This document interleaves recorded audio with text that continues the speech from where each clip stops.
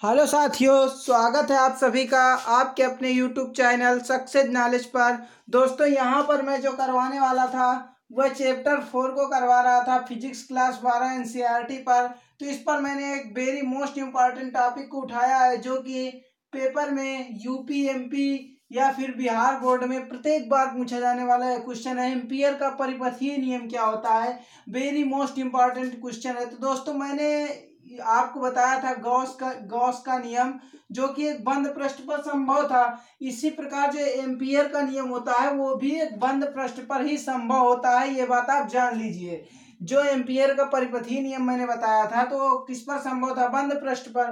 वो sorry Gauss का नियम। अब ये एम्पियर का जो परिपथी नियम है, ये भी बंद पृष्ठ पर ही संभव होता है। तो इस वीडियो को देखने के बाद एम्पियर का परिपथी नियम आप जीवन भर नहीं भूल पाओगे। सौ परसेंट आपकी यहीं से समझ में आएगा।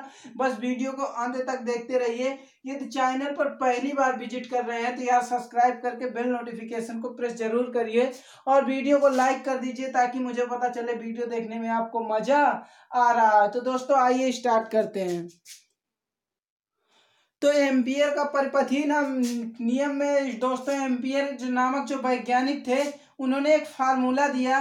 वह फार्मूला था, ये समाकल का साइन और ये चुंबकीय क्षेत्र इंटू में रेखीय इंटू में म्यू नाट इंटू आई ये उन्होंने हमें एक फार्मूला दिया था एम्पियर नामक जो वैज्ञानिक थे, इसी फार्मूले की मदद से हम एम्पियर के परिपथी नियम को सीखेंगे।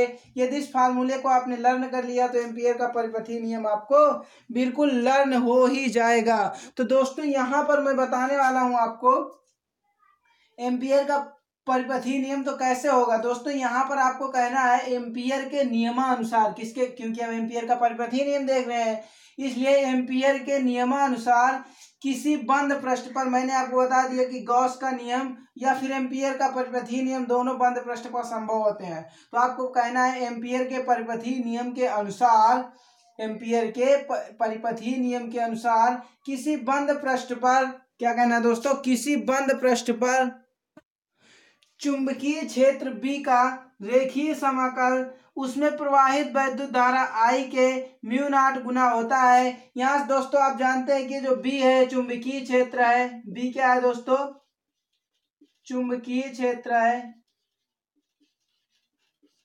इसके बाद आप जानते हैं आई हमारा प्रवाहित धारा है।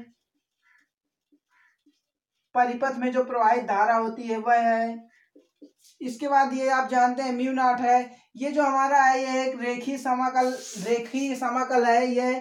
ये हमारा रेखीय समाकल है। तो यहाँ दोस्तों इतनी चीज़ें जानने के बाद आपको कह देना है, एम्पियर के नियमानुसार क्या क्या देना है, एम्पियर।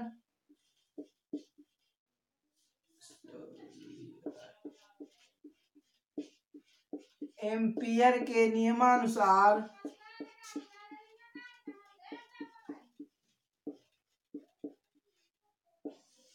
एम्पियर के नियमानुसार किसी बंद पृष्ठ पर, किसी बंद पृष्ठ पर चुंबकीय क्षेत्र का रेखीय समाकल, उसमें प्रवाहित धारा के म्यू नाट गुना होता है।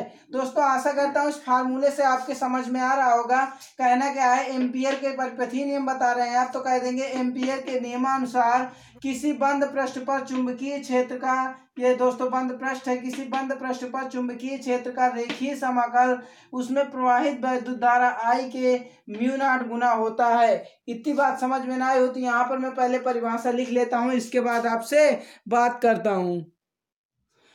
तो यहाँ पर मैंने इसी फार्मूले की मदद से निकाली हुई डेफिनेशन लिखी है और आपको समझाने की कोशिश करूँगा।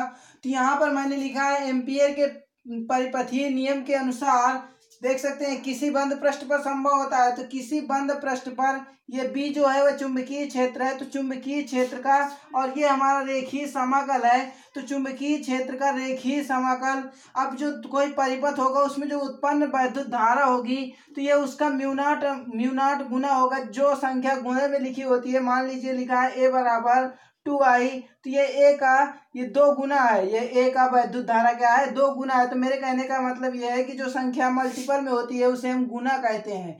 तो हम कहेंगे क्या? कि एम्पियर के परिपथी नियम के अनुसार किसी बंद पृष्ठ पर किसी बंद पृष्ठ पर चुंबकीय क्षेत्र का रेखीय समाकल, उसमें उत्पन्न धारा के या प्रवाहित धारा के म्यू नाट गुना होती है। आशा करता हूँ दोस्तों, एम्पियर का परिपथीय नियम आपके समझ में आ गया होगा। दोस्तों, इसकी पीडीएफ भी मैं नीचे डिस्क्रिप्शन में देने की कोशिश करूँगा। यदि नहीं भी देता तो आप इसका स्क्रीनशॉट ले लीजिए और इससे आप लर्न कर लीजिए। ये आपके समझ में आ गया होगा। बस दोस्तों आज के लिए इतना ही। मुझे कमेंट करके ज़रूर बताएँ कि मेरे समझाने से आपके दस परसेंट समझ में आया या फिर सौ परसेंट समझ में आया।